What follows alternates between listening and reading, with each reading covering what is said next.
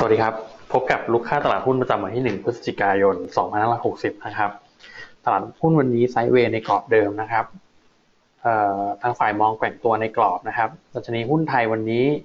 ยังไม่มีปัจจัยบวกใหม่นะครับ ขณะที่ยังรอผลการประชุมเฟดที่คาดว่าจะคงดอกเบี้ยในการประชุมรอบนี้นะครับ แต่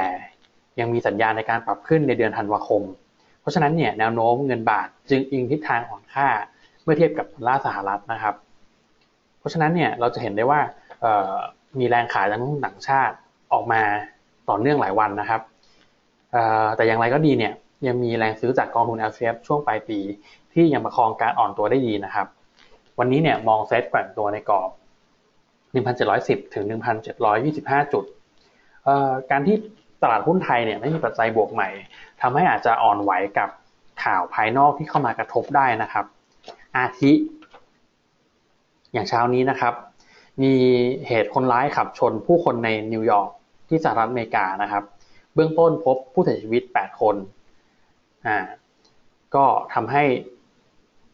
ทำให้สภาสหรัฐเนี่ยเรื่องการเปิดเผยไปรูปภาษีออกไป 2 วันนะครับ อันนี้ก็เป็นข่าวทั้งสองข่าวที่อาจจะกระทบกับหุ้นในภูมิภาครวมถึงตลาดหุ้นไทยได้ แล้วก็ในสัปดาห์นี้เนี่ยยังมีผลการหุ้น Big Cap นะครับ ที่จะทยอยประกาศออกมา หลักๆ ก็ประมาณ 3 ตัวนะครับ a d v a n c e ปูนใหญ่ แล้วก็ปตทสพนะครับกลยุทธ์การลงทุนเนี่ยยังเป็นแบบเดิมก็คือ ซื้อเก็งกำไรแบบเรื่องหุ้นรายตัว หุ้นนำไซโมเมนตัมนะครับเมื่อวานทำกำไรคิวเฮาออกไปที่ 2.98 บาทนะครับกำไร 5.5%ส่วนวันนี้เนี่ยเลือกหุ้นเข้า 2 ตัวก็คือ AP นะครับซื้อเก็งกำไรบนมุมมองบวก ในงบไตรมาสที่ 3 จะโต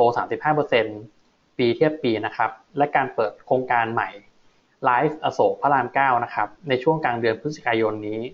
แล้วก็นั่งซื้อเก็งกำไรอิชินะครับจากเครื่องมือทางเทคนิคที่ส่งสัญญาณเชิงบวกพร้อมมี volume หนาตานะครับหุ้นใน port ที่ยังถืออยู่นะครับ คือช ทวีนะครับศุภาลัยนะครับ และแซดแล้วก็เมเจอร์นะครับ หุ้นติด cap balance วันนี้ หุ้นที่ครบเกณฑ์ได้แก่ TTCL ครับ ส่วนหุ้นติดชาร์ตนะครับ วันนี้แนะนำเข้าซื้อ GFPT นะครับเเข้าซื้อที่ 18 บาท 20ทำกำไร 19 บาท 50ตัดขาดทุนที่ 17 บาท 50 นะครับ GFPT เนี่ย ทางด้านเทคนิคนะครับ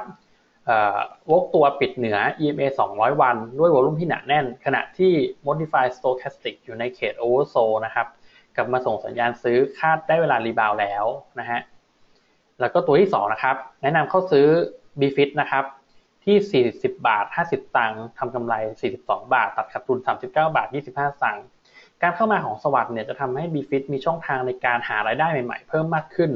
รวมถึงการขยายตัวผ่านสาขาของสวัสด์ที่มีจำนวนมากได้นะครับ ส่วนเมื่อวานนี้เนี่ยเจมาร์เข้าซื้อไม่ได้นะครับ แล้วก็หุ้นที่ถืออยู่จะมี TKS นะครับสุภาลัย ECL แล้วก็เมื่อวานนี้ตัดขาดทุน PSL ออกไปนะครับ ถ้าท่านใดมีคำถามก็สามารถพิมพ์ถามเข้ามาได้เลยครับ